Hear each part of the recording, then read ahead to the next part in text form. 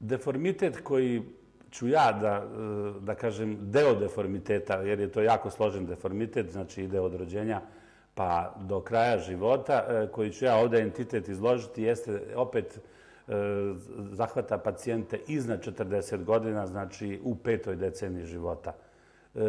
Nije se tako davno počelo pričati o tome, ali to je problem, znači, bolnog ravnog stopala u drugom životnom dobu.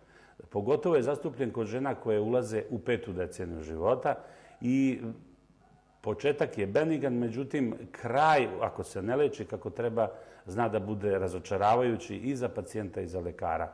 Naime, dolazi do pojave bola, otoka i otežanog hoda. Bol i otok se lokalizuju sa unutrašnje strane članka stopala, odnosno, kako mi kažemo, medijalnog maleolusa i e, progresivno napreduju. Znači, malo se odmorite, to prođe, međutim, opet se pojavi i to bi bila neka prva faza ravnog, e, bolnog ravnog stopala i e, prva faza insuficijencije, odnosno disfunkcije tetive zadnjeg tibijalnog mišića. To je jedan od e, fundamentalnih mišića koji drži unutrašnji najznačajniji svod stopala i čije popuštanje ide iz prve pa do četvrte faze prema nekim autorima, prema nekim do treće, ali ono za sobom povlači znači nekad potpuno lepo oblikovan svod stopala, e, postane ravan, a zatim dolazi i do problema koji su praktično krajnja faza te bolesti, a e, očituju se u potpuno ravnom stopalu, nemogućnosti hoda i tako dalje.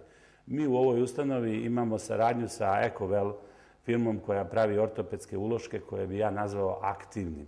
Znači, dolazite da vam izmerimo vašu originalnu visinu svoda stopala koju postepeno rekonstruišemo sa ovim podešavajućim uloškom.